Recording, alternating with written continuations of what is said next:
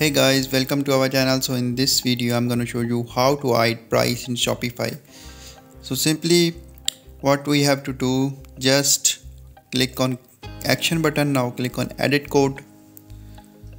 So now when you open this section you have to search for like here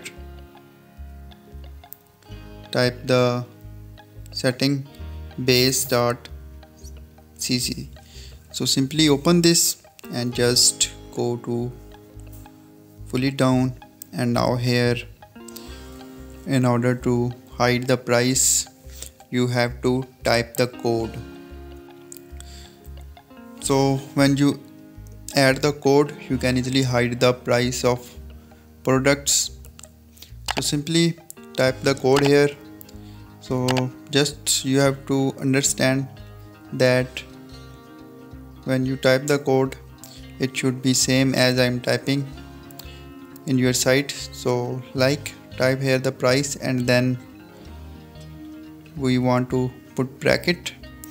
And after this just type the next word here. You can also copy this code and paste into your site you can easily get this code from google or any website or you can easily load this. So now type the display and after that just you have to click the you have to type the equal sign then click on none. So now here just close the bracket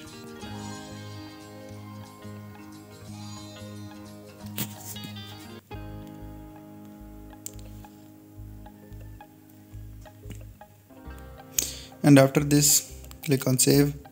So in this way you can easily hide the price in Shopify